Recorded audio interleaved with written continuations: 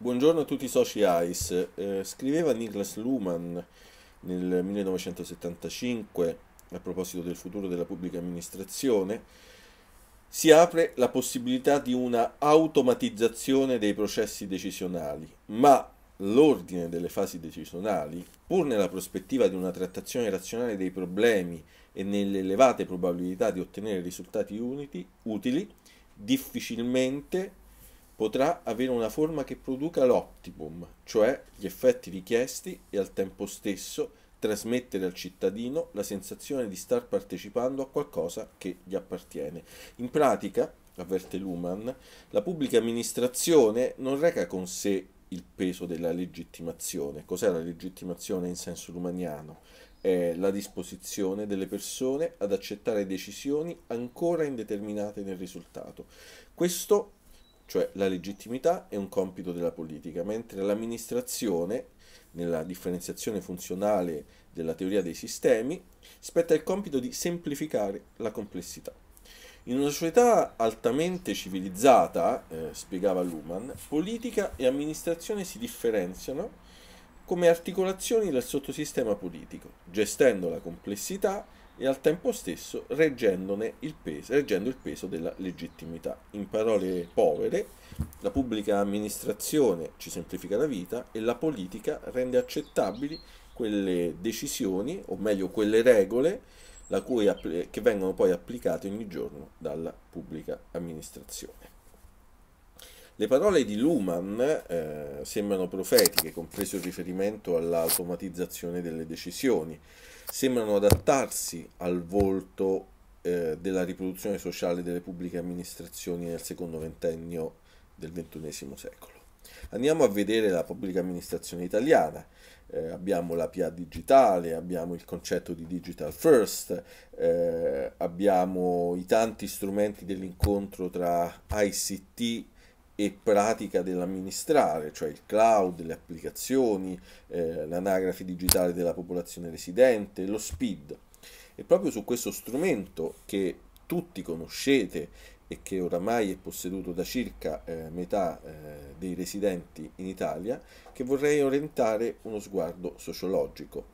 Eh, sempre partendo da Luhmann, sappiamo che il sistema politico eh, che il sottosistema politico, nella teoria dei sistemi, possiede tre articolazioni, la politica, l'amministrazione e il pubblico. Queste tre articolazioni sono in un rapporto comunicativo e circolare fra esse, differenziate ma contigue. E proprio lo SPID, il sistema pubblico di identità digitale, cioè che nasce come passaporto digitale per accedere eh, attraverso un riconoscimento dell'identità a tutti i servizi pubblici online delle pubbliche amministrazioni, che a mio parere è sociologicamente la saldatura eh, tra il dominio della razionalità amministrativa e quello della legittimità politica. Infatti SPID dallo scorso luglio non abilita solo ai servizi amministrativi, ma anche ai diritti politici e costituzionali.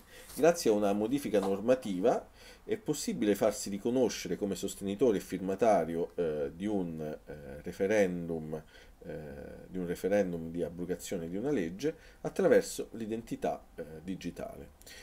In pratica è lo strumento SPID che ha permesso referendum anche importanti, che poi andremo eh, probabilmente a votare nella prossima primavera, a referendum anche importanti, di poter ottenere in poche ore eh, le firme necessarie per poter andare alla Cassazione per, il, per poi per la successiva validazione. E parlo dell'eutanasia, eh, della legalizzazione della cannabis, eh, dell'abrogazione della caccia e eh, di temi eh, di questa eh, rilevanza.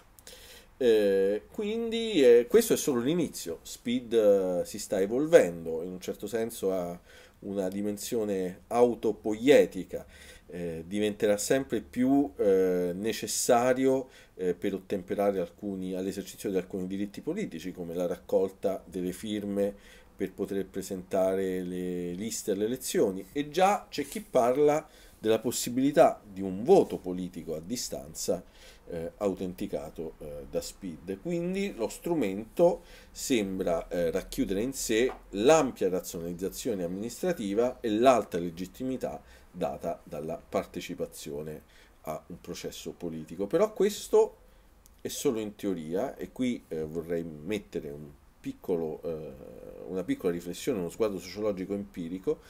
Eh, bisogna tenere conto che SPID è un servizio pubblico ma è gestito da privati è lasciato in concessione allo Stato, a delle società private.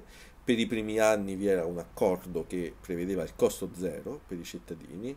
Eh, oggi questo accordo è stato liberalizzato, in pratica ogni azienda, ogni fornitore di identità digitale può richiedere ai cittadini eh, qualunque eh, prezzo voglia e preoccupa che il maggior fornitore di identità digitali, come le poste italiane, eh, richieda dal 1 novembre 2021 un contributo di 12 euro a quei cittadini che si recano allo sportello dell'ufficio postale per richiedere SPID e un sociologo direbbe che eh, chi sono questi cittadini? Sono ovviamente i gruppi eh, più fragili, gli anziani scarsamente, scarsamente, informatizzati, i migranti, le persone in situazioni di marginalità, le persone che vivono in aree con una scarsa eh, connettività. Quindi da un lato SPID diventa l'abilitatore di diritti di cittadinanza, e, da, e, rilanciando un ruolo pubblico di legittimazione procedimentale, per dirla alla Luman, e dall'altro riproduce con la sua gestione privata eh, situazioni di ineguaglianza ed esclusione, andando a ledere anche dei diritti universali.